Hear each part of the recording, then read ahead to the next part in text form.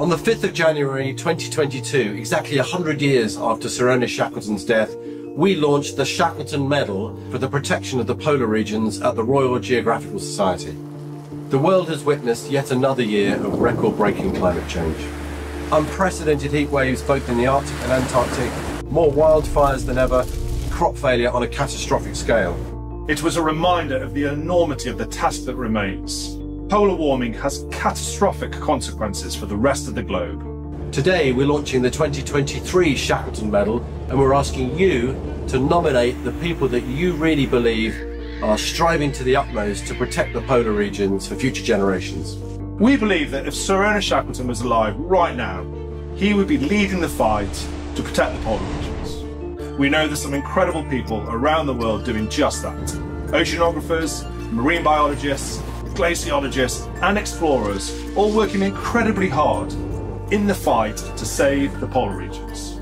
Battling against the odds was what Shackleton did, and today we're launching the 2023 medal here at Dulwich College, Shackleton's old school, but we're next to the James Caird, the actual lifeboat that Shackleton and his men sailed from Elephant Island to South Georgia in order to rescue his men stranded in Antarctica.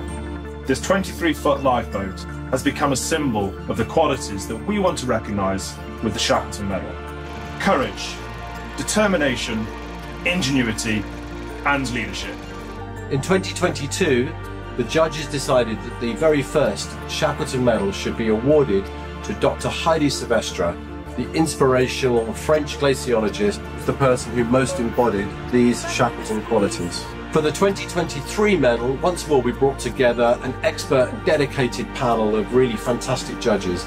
And this year, the judging panel is joined by Dan Snow, fresh from his expedition to discover the Endurance 3,000 metres underneath the Southern Ocean. Nominations will open on the 5th of January and close on the 1st of March. The winner will receive £10,000 to help them further their work. We'll announce the shortlist on the 20th of March and the winner will be announced on the 5th of April.